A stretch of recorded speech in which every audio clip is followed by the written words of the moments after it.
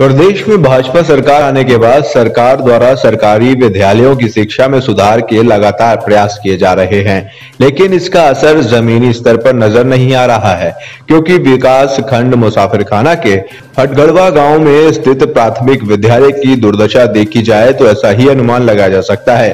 यहाँ पर बरसात हो या गर्मी, साल में आठ से नौ महीने पानी भरा ही रहता है। जिससे वहाँ पढ़ने वाले बच्चों के सपने पानी पानी हो रहे हैं। अगर विद्यालय की व्यवस्था की बात की जाए तो विद्यालय में शौचालय की स्थिति भी कुछ ठीक नहीं है।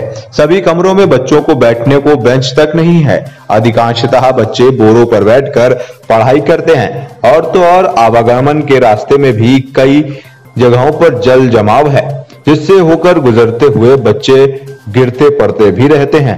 आखिरकार अब नहीं तो कब बदलेगी ये सरकारी विद्यालय की बदहाल सी व्यवस्था? स्कूल में गंदा पानी जमा होने से संक्रामक बीमारियों का भी खतरा हो गया है।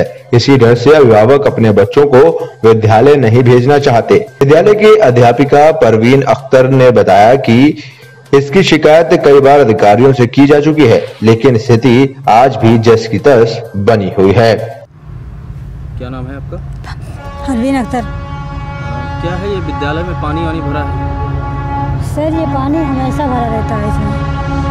हमेशा भरा रहता है। हमेशा भरा रहता है तो सर इसमें कैसे बच्चे पढ़ने आते हैं? सर बच्चे पढ़ने क्या आते हैं? हम लोग अपने बाइक से जाते हैं उनको ले के आते हैं सर। डेली का। इस तरह कोई आना ही नहीं चाहता सर। कि, कितने बच्चे हैं? मतलब अभिभावक इसमें भेजना ही नहीं चाहते सर। कितने बच्चे हैं विद्यालय अट्ठाईस बच्चे हैं सर। Twenty eight. तो इसकी शिकायत आप लोगों ने की है सर करते हैं। बस यही मीडिया वाले आते हैं अपना जाते हैं। कोई सुनवाई नहीं हो रही कोई सुनवाई नहीं होती सर। इसमें जो है बच्चे बीमार भी हो जाते होंगे। सर बीमार क्या हम लोग मतलब मौका भी नहीं देते पानी बाहर से मंगवाते हैं सर। नल वल भी नहीं चल रहा है। नल चलता है सर चालू हालत में है लेकिन पानी पीने योग्य हम जब हम लोग नहीं पीते हैं तो कैसे बच्चों को पिलाएँ? ओएनएन के लिए अमेठी से एसपी तिवारी की रिपोर्ट।